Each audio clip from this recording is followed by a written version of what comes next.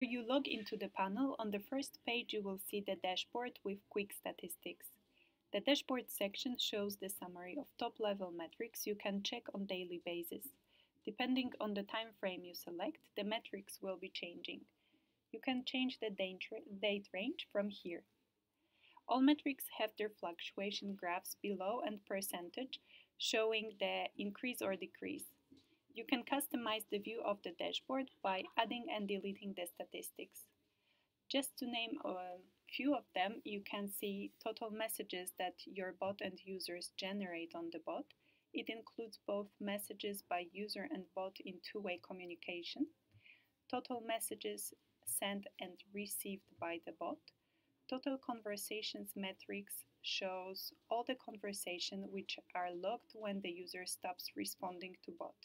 After two minutes of time, the session finishes and the conversation is logged. If the user writes five consequent messages and the bot answers with one response, this counts as one conversation. Average session length metric shows average session du duration. Botanalytics sums the duration of each session and divides that sum by the total number of sessions. This metric is important to track the engagement activities. Then you see the average conversation steps per user. The conversation step is a single back and forth message exchange between a user and a bot. It means that in case the bot answers with one message after the user writes a message, these two messages combined are, me are measured as one conversation step. We calculate these steps to identify if the users uh, are still interested in the conversation and it shows the real engagement of your users. Then you can see average conversation per user. Uh, when total conversations are divided by total users, average conversation per user occurs as a metric. This metric is highly important to track the engagement activities. Um, average conversation steps per user means that total conversation steps are divided by total users and this is highly important to track the engagement rate.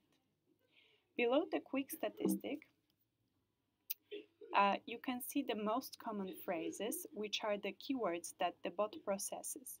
It gives the percentages of the total keyword density so that you can compare with keywords, um, which keywords are popular on the bot and create campaigns to understand the users.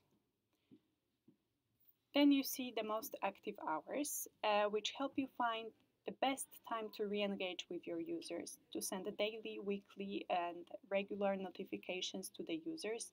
It is crucial to track most active hours. It reveals what time the users are talking with the bot. Thanks to the metric, uh, you are able to find the best re-engagement times. Um, and talking about customization of the dashboard, here you can add the custom statistics. So adding custom statistics allows you to adjust your dashboard as how you would like to see it. Some metrics can be important for marketers while others are important for developers. We let you design your dashboard. So just click here to see what other metrics are available and feel free to customize it as you would like to.